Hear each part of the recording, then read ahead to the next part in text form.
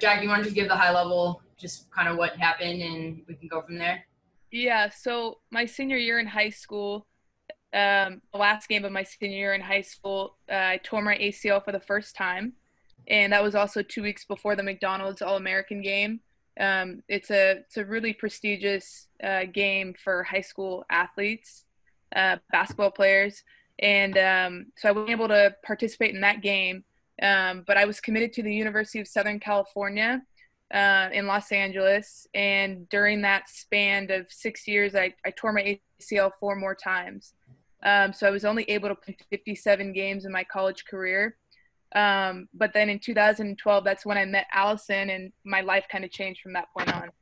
I definitely can't take any credit, but in can you give people context on like when you tear your ACL, how long how long is the rehab and recovery? You know, what's that like? What's yeah, that so it's a it's a pretty grueling process. It lasts eight to 12 months.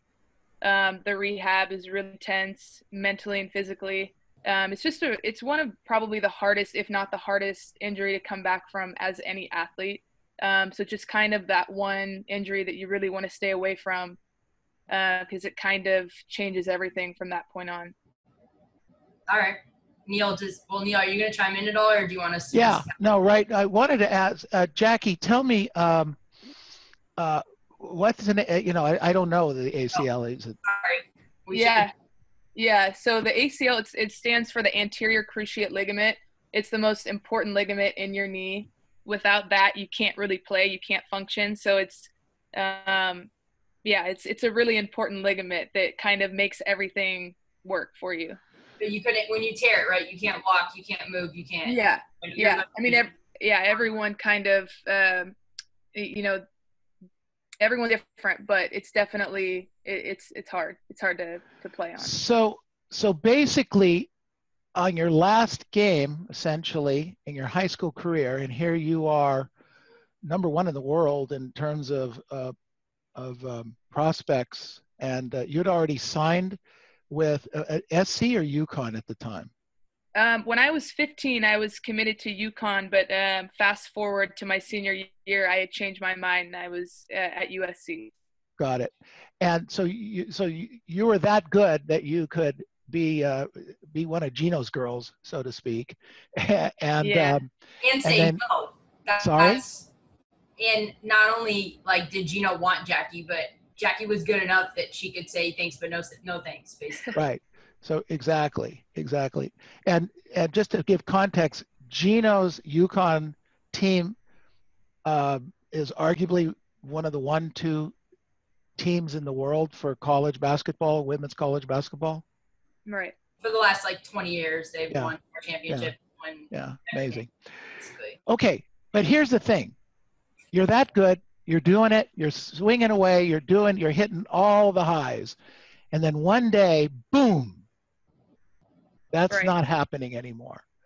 That's tough to deal with. So, Jacki, let's talk about that because we as real estate agents, you know, we run into that. We could have two or three of those, not those. We could have two or three things happen that are negative in any given day. Uh, what, what you came back from is is game changing, it's life changing, uh, so to speak. Right. So, but it's not just that one nail. Like she, every time Jacki came back, she hit it again and went right back down. You know, like that's, I mean, that's part of what makes her story so incredible is just because she's so resilient that she. I mean, I guess to give people context for for today, Jacki. Well, we're kind of skipping over the order of the questions, but but Jacki has has made a WNBA team. She's played an entire season in the you know, like we're, t- I guess we're taking some of the expense, it's a suspense away. Um, but she's currently signed with the Connecticut Sun of the WNBA. You know, so so fast forward, uh, knock on wood, Jacki's had what right. six. She came, she's come through it, and it's been yeah. steps along the way. What I kind of wanted to get to a little bit, Jacki, right now, was okay. So what did you? It clearly had to knock you back and set you back. What what do you do mentally to come back from that i mean and and not only did you come back from it once you came back it was four tears four different tears um and it, yeah it was a five in total Um, I think for me, the the biggest thing coming back from each of those injuries um, was my childhood. I had such an amazing childhood. Um, my parents devoted so much time, money, and energy into my career as a young young player. Um, the countless hours that my dad put in the gym with me to help make me the best basketball player that I could be. These are all things that kind of tied in and played a huge part um, as to why I wanted to keep trying and, and keep trying to make it happen. Um, you know, my dad, uh, he's worked the grave, graveyard shift at a grocery store his whole life. So, um, you know, seeing him so tired all the time, but still devoting all that time into me to try and make me a great player, um, it just stuck with me. And um, my mom also battled with breast cancer, so I had to see her go through that, and that was really hard for me. Um, but you know, I, I, come from a family of fighters. Um, my dad also is a, is a, prostate cancer survivor, so I think that they kind of paved the way and led the way for me, um, and just kind of instilled that work ethic in me and that fighter's mentality to overcome um, adversity and to just kind of see my my dreams, make my dreams a reality. Um, and there was nothing in the world that no one was going to say or do to stop me from wanting to make that WNBA roster. Um, no matter how many uh, physical therapists or doctors were telling me that I shouldn't play anymore and that my body just wasn't fit for basketball. Um, you know, I still had some stubbornness inside me that just wanted to prove everyone wrong um, and just just take it and go for it. So that's that's just kind of carried me my whole life, just my passion for basketball and the love of the game. We get that absolutely. I mean, it, it, that comes through loud and clear, certainly. And, and I've had an opportunity to to spend time with you uh, and get to know you as as an individual. My question here, though, is is I get the family, I get the support, and a lot of us have nice families and good support, et cetera, et cetera. But where does that come from? Where do you get it from inside of you that gets you up the next day, that gets you to the gym, that, you know, I, I know your trainer, I know he, the guy uh, here in Beverly Hills that, that has helped you move that along. Those are not easy workouts that you do with them to get better, to, to be able to, uh, you're playing now at the, at, at the WNBA level. It doesn't get any higher than that in the, in the world for, uh, for women's basketball? Yeah, I mean, you know, you're really making me dive deep into this question. Um, I, I, think how I've always answered how I've always seen it, um, is just, you know, the passion for the game and the love for the game. It's, I don't see myself doing doing something else right now that's going to fulfill me in that way. Um, I had a plan and a goal in mind when I was young, uh, and you know I, I, just think my competitiveness and my my drive for wanting to do what i want to do not what anybody else wants me to do is just yeah i think that that is what really carried me um, and, and, maybe i'm crazy or maybe i'm just different than other people that would have been in my position but um, for me it's this is what this is what makes me go and this is fulfills me.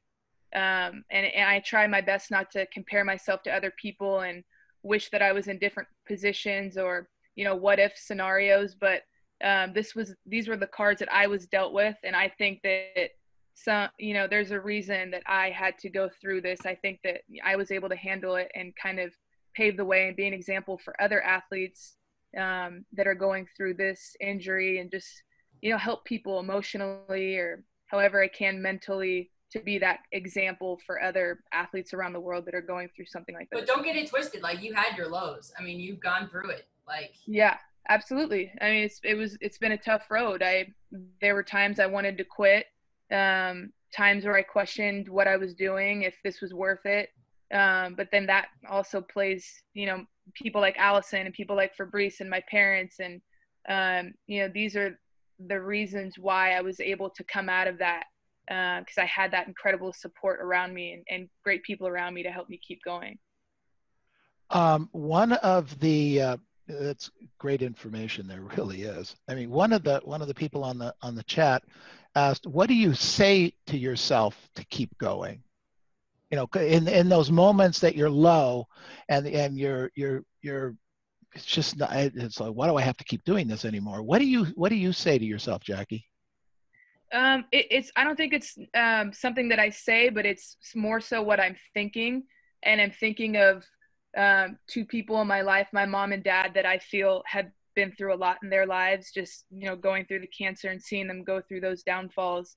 Um, just having these visions of these two people in my mind really carry me, um, and, and, just kind of put things into perspective for me. I'm I'm going through a ACL injury. You know, I'm not lose. I'm not my life is not in question or um, something more detrimental, you know, didn't happen. This is just a ligament, a ligament in my knee that's, uh, you know, not letting me play basketball. So I put kind of things in that perspective and just tell myself how much worse it could be. Um, and, and I think of my parents, you know, my, my two biggest supporters and my, my two biggest fans. Uh, and this is what really just drives me. Oh, that's great. Perspective, basically. So Allison, say, say that again. No, she uh, Jacki like not to speak for you, but basically you put things in perspective and you always go back to what your parents went through. Right. Just overcoming cancer, basically, and that you know you have to overcome a knee injury and and you're gonna be you're gonna be all right. But I think it's all perspective and mentality. And Jacki has a really good mindset. It's a her mind can be a scary place sometimes, and she's an overthinker and and has her dark days, sure. But like. Right I mean, I have a, a, good amount of clients that that are really hard workers, and I have some clients that aren't hard workers. And Jacki's in the category of of someone who's always gonna put always gonna put the work in, no matter what. I mean, right now is a good example. Um, the WNBA season is more or less in jeopardy. No one knows what's gonna happen, if there's gonna be a season, when there's gonna be a season. Jacki was supposed to be in training camp in Connecticut starting uh, April 26th, and Jacki's very diligent with her repertoire. She was actually in Greece when uh, this pandemic uh, broke out and is now home in the Bay Area. But there there's no certainty over over you know her career and when it's going to resume and and she's so stubborn with her work ethic that nothing's going to stop her from getting her workouts in to the point where her coach in Connecticut actually reached out to her and said, "Hey, like people have been reaching out to me saying that you're not staying in your house and staying quarantined because you're getting your workouts in. But that that just goes back to Jacki's overall mindset and mentality and, and work ethic. Like nothing will stand in her way. Right, right.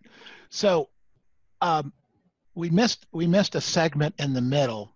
We got that the that she got hurt, and then we got that she got to the WNBA. Um, WNBA. But there's a there's a whole story in between. It's a lot of ups and downs. I mean, you got healthy and then went and tried out for something and then tore it again. I mean, you want to kind of walk us through that story a little bit, Jacki, please? Yeah, I think to kind of make a, a long, drawn out story in a shorter way. Um, so the first time I tore my ACL, like I said, was the last game of my senior year in high school. Um, so that forced me to redshirt my first year at USC. Um, so I didn't play that first full year. The next year, which would have been my sophomore year, um, in October, I went down again. So I had finally got cleared. I played for one month, uh, went down again, and went down in October, and then had to sit out that whole season. And then my junior year, which would have been my junior year, same thing happened except in September. So I was always cleared for one or two months tops, and then I would go back down. Um, and and the worst one that happened was um, when I had a, a, certain surgery. It's called um, an allograft surgery, where I take they take someone else's body part and use that as my ACL. So a very small percentage of people, when they get this procedure done, uh, their body rejects it, and my body rejected it. So the ligament actually dissolved in my knee. Uh, so it was just like a freak thing and I, they ended up having to redo the entire surgery over after eight months into that rehab. So that was really devastating for me. That was the fourth surgery. Um, and then finally, I was able to play one full season healthy. And then that next summer, I made the USA Olympic team in 2011 um, for the World University Games team, which was a miracle kind of because I had only played one season in the last five years at that point. Um, and I was playing with some of the best players in the world on that team. Uh, so I had one full season under my belt going into my senior year in December. That's when I tore my ACL for the fifth time. Um, so I was out. I was out the rest of that season. Uh, and you were trending towards being a first round draft pick, like having an amazing season her senior year, and then one of the biggest games in the whole season, like 17,000 people in the crowd. This was in a game in Texas.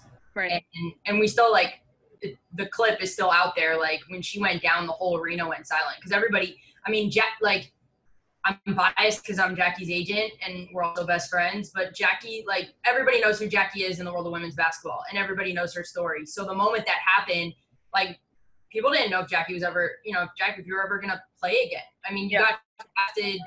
Well, I'm sorry. Go ahead. Keep going. Yeah. No, I mean, well, like that's exactly what happened. Um, I think after that last tear is when I really put in question what I was doing.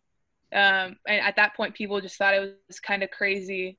Um, and you know, then at the end of the season in March, when the WNBA draft happened, I got drafted to the Minnesota Lynx in the third round, the 31st overall pick.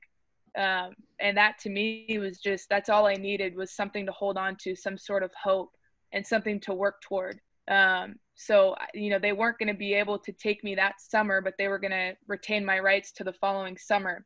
So that gave me a whole year, a long time to be able to work with Fabrice and be near Allison and get my mind right, my body right, and do all the right things in order, you know, to try and make that WNBA team. So that was everything that I needed in order to keep going. Just I got to hold on to something. So that was really, really important for me. And you had something to look forward to and uh, to, to work right toward. Yeah, yeah exactly. Right. So you kept practicing and you practiced locally, but you went overseas and played professional ball overseas. Um, you know, talk about that a little bit. I mean, well, how did that? How's that mess inter- with you? Can I interject first? Sure. Like Jacki worked her butt off going into from 2012 to 2013 when we first when we first met, and she was getting ready to go to Minnesota training camp in April of 2013. And that was, you know, that was everything Jacki's been working for her whole life, just for this one, you know, one moment, a couple, really like one day to prove herself because players get cut, players, um, teams cut players every day, basically, in WNBA training camp.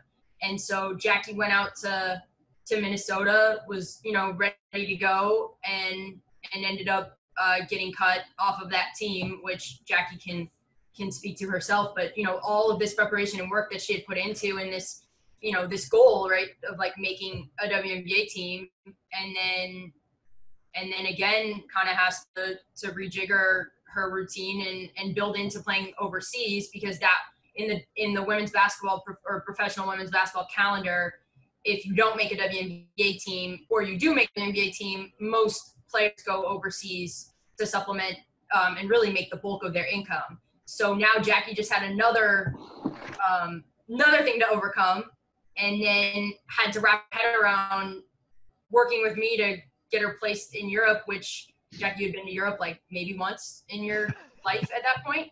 No, I actually that would have that was my first time. Oh, even better. Yeah.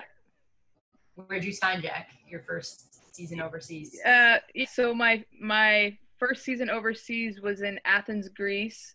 Um, my dad is Greek, so I'm half Greek. Um, and me and Allison were able to get my Greek citizenship. Um, so I was actually playing in Greece as a local. I considered I was considered a Greek player there, and it's and that's really valuable because I am American, and you're only allowed two Americans per team overseas. Um, so this was a really big deal, and not only for me, but it was a huge deal for my dad and my family as well because my dad also played professionally in Greece. Um, and ironically, the first team that we played against was my dad's old club.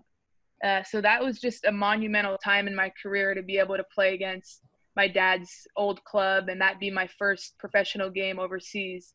Um, so it, it, was an incredible season and an incredible experience. Really um, just kind of made my my European experience uh, something to look forward to from that point on. And the basketball was great. The level was great. It was different. The game is a lot different there. They play more with their head and use their mind a lot more versus the WNBA. It's more based off athleticism and strength and quickness and talent. Uh, but there, they don't have those things. They lack those things there. So they play a lot more with their head. So being able to play in both places I was able to incorporate both those styles into my game and that really blossomed me as a player and it's helped me a lot and i think that bringing that european side to the WNBA is going to be an advantage that i'll have going into this training camp. was there, was there anything that you took out of your first training camp experience that you tried to implement and get better at overseas?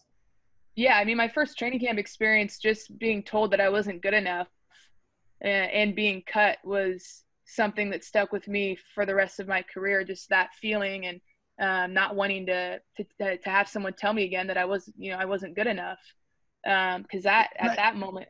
Can I stop ahead, you for just a second on that thought, Jacki? Yeah. I'm sorry, but that no, okay. that that's the point. Okay, we all get rejection in this business. Okay, we're constantly rejected, and and n- not at the levels that you're getting rejected. Okay, we get rejection like somebody doesn't want to list their house with us. Okay, well, that's they, a big deal. Well, but it's not public. Your rejections are all over the internet. Yeah, okay. yours is everything you get rejected on is public, big time. so, so, so my question. So, how do you? What do you do? It's it's the next morning. You got to get out of bed. You got to practice. You you got to get your head on straight. You got to get into your routine. Um, uh, at, at, toward the end, we have a number of questions here, but a couple of them are, you know, what do you do every day? What is your routine? What is your mantra? But we'll get into that in a minute. But where are you in that moment? Because if I could get that from you, I think that could help some of our people to get out of bed the next day when they're look this this is a tough business is this a tough business in general then it's really tough right now but you know yeah you have some experience in tough. I mean, I, I think that we all face our adversities. We all go through our hardships. Um, everyone's is different, um, but adversity is adversity. And um, the things that happened to me throughout my career and um, not making those rosters and being cut, um, those things propelled me.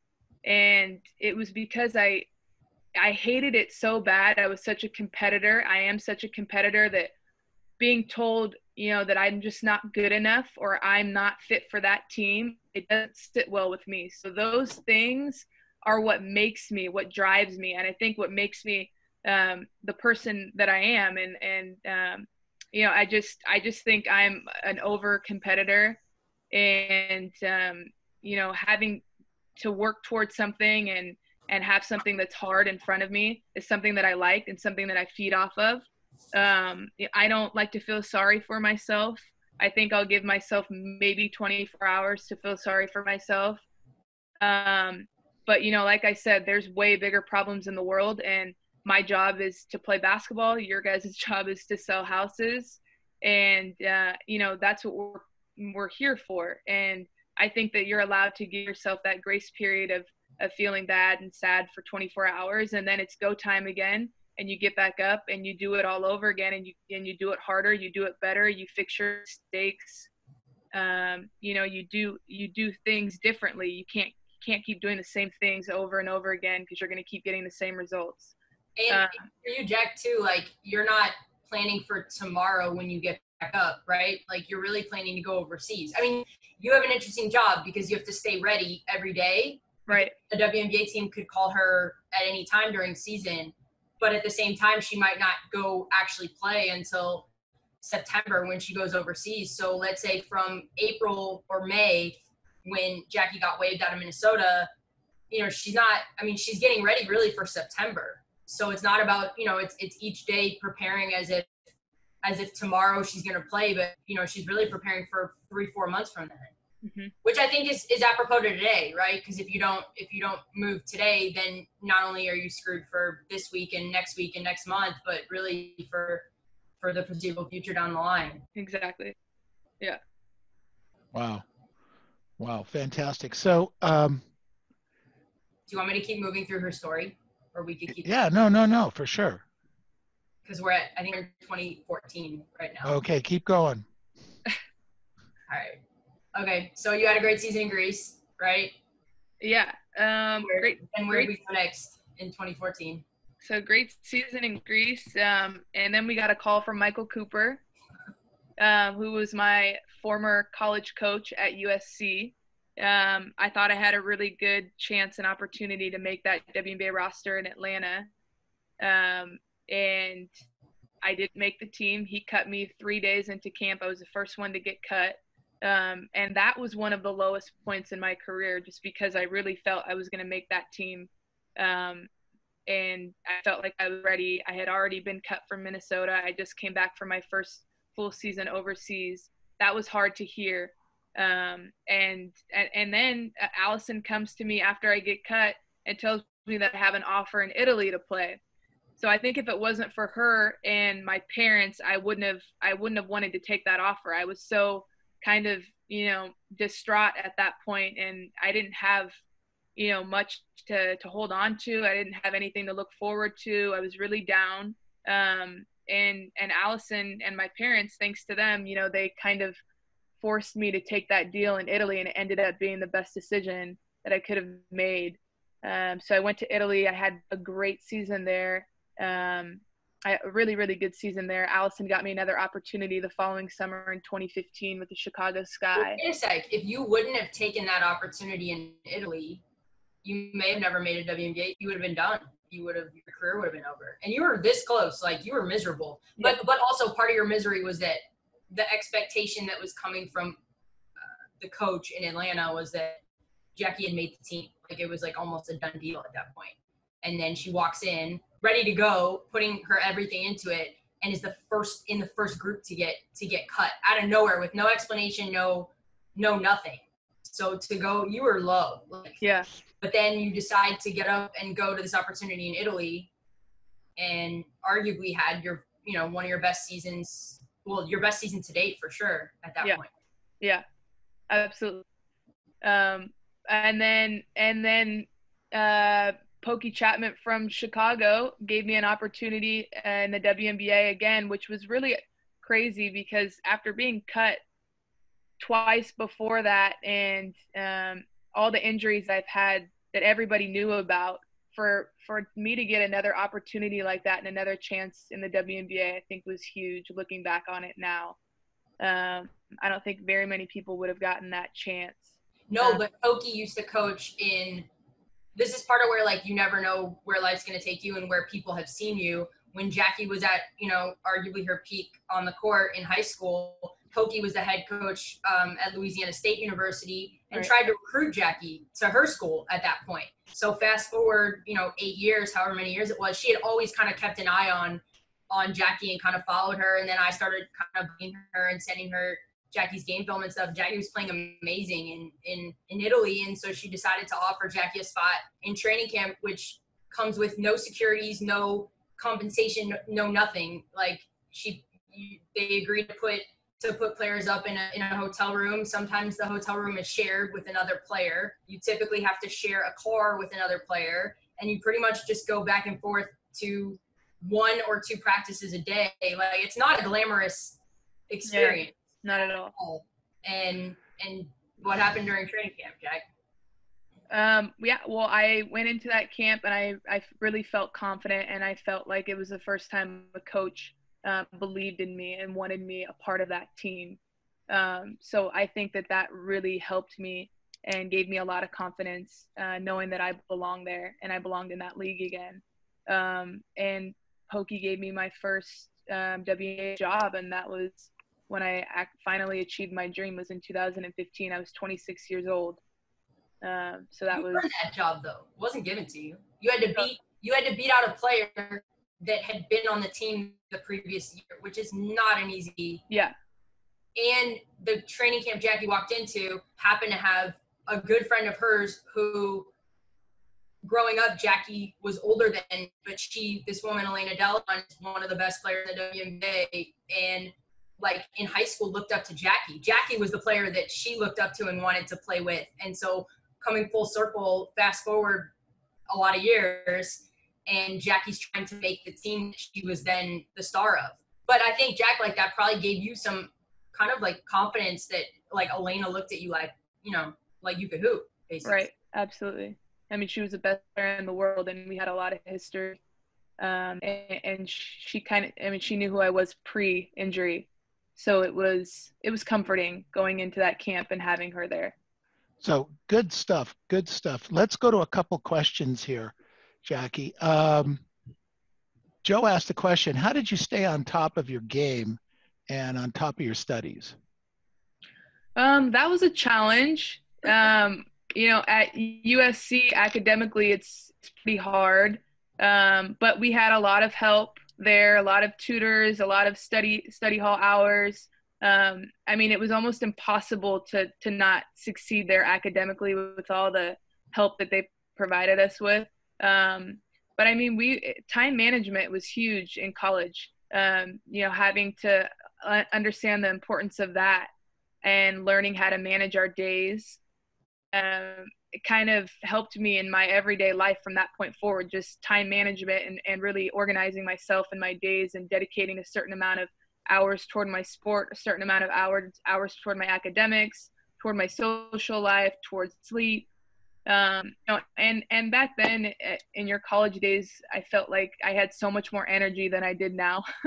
Um, but i was really you know, we had coaches that cared so much about us and, and was they weren't going to let us slip. Uh, so every day was a grind, but every day was was manageable. What are your days like now? Um, I mean, now without any school, it's I just dedicate my days toward working out, taking care of my body, um, uh, working on my clothing line that I have, and yeah, so how do you, so one of the questions was, you know, how do you manage that? You know, your clothing line, your personal life, you got all kinds of cool things going on, you know, and, and your WNBA career. I mean, how's that? Um, well, I mean, right now it's a good time to manage these things just because there is a lot more time in the day. Um, but when I'm overseas and I'm playing in a season and we're playing two games a week, we're traveling a lot. Um, you know a lot of a lot of my days are dedicated toward sleep and and eating and, and rest and practices and shooting and uh, recovery. So uh, you know there's a lot of hours that go into uh, the preparation of the of this sport.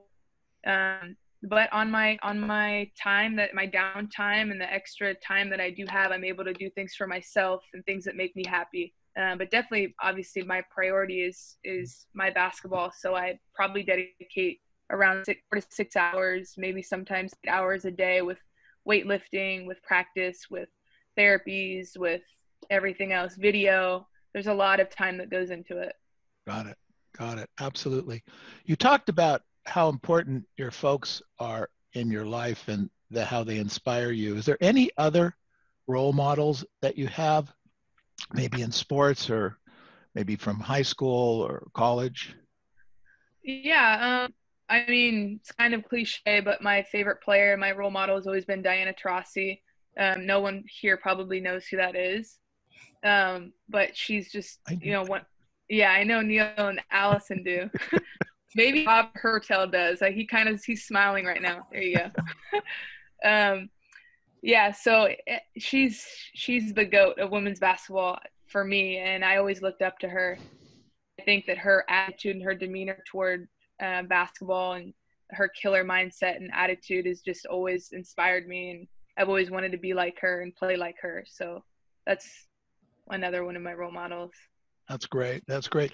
Uh, anyone have any can we open it up a little bit for questions? Was there that can we do that for? Wait, what's what's Jack, Go ahead. Your, why did you start a clothing line and what is it called? Um, so my brand Overcome, um, I really just wanted to help inspire others to overcome things in their lives. Um, and I thought merchandise would be the best way because of my schedule um, and because I'm traveling all over the world. Uh, so creating t-shirts and other merchandise, uh, I would be able to have the most impact um, on people and sharing inspirational messages through my line, things like that. Wearing it now? Uh, yeah, I'm wearing one of them now, but it has no relevance really, so it's, it's okay. Fair enough. Yeah. All right. Very good. Very cool. Uh, any questions? Questions, you guys? You covered a lot of territory, Jacki. Thank you. Of course, Neil. Anything for you. Jacki, I have a quick question I want to ask you. All right, let's yeah, do it. Nice to meet you. Um, nice. I watch a lot of basketball, and I heard your experience. It's a little bit similar to Derrick Rose. Would you a, a little bit. You see a little bit similarity in there. Yeah. And I was, you know, there's a lot of difficult time, but in the downtime, how, what is your schedule look like, and how would you manage, you know, all these things, and and how do you keep on going, even you know things are a little bit negative, and like how do you, yeah, like that's that's kind of the question. You're saying like in this in this time that we're in right now? No, like like um during the in- injury. Oh, okay. Um, well, for me, it's um, you know, I, having something to work toward. Um, I mean, physical therapy is very repetitive, especially when you do it um, five years in a row. Mm-hmm. It kind of you, you kind of feel like you're doing the same thing, and it kind of gets boring. Uh, but that's why for me it was so important um, to actually learn why I was hurting myself and understand why I was doing the same thing over and over again. So uh, with my trainer, I, we were able to really dissect the reasons why I kept re-injuring myself, and that's the kind of therapy that we were doing uh, was to be able to prevent that from happening again. So I think just um, you know trying to um, just do different things and and make yourself work for something different. And it, it was really helpful for me especially when i had a different trainer in the last uh, year i hurt myself. Um, that kind of kept me going. But um, just just waking up every day physical shape that i could be mental shape that i could be taking care of my body nutrition is huge and just feeling good about myself and what i was doing every day um, knowing that I, I was trying to work for something. Thank you. I hope that answered your question. I don't yeah, know if I did or not. Very cool. Other other questions. So so so Jacki, I have a question. I want to go back to high school when you're you're the number one player. You obviously have your school, but how many hours a day are you focused on basketball, either practicing, watching film, working out, so and so forth? I mean, what what was that like? So in high school i think that i just had a different mindset and i um, my dad always instilled in my head at a very young age that um, if so, if I wasn't working one day, that somebody else was going to be working, outworking me. Uh, and he always did this thing with his hands. He would say, "Okay, Jack, you're here, and the the other girls are here, and if you don't practice today, the girls are going to be here." And I always remembered his hands doing this movement um, and that kind of stuck in my head because I I knew that if I wasn't going to practice that day, somebody else that was close to me was going to pass me up, and I was scared for that. It really made me scared, and I, I couldn't sleep or I couldn't do anything if I didn't practice. So I was constantly in the gym. I was shooting 500 shots a day.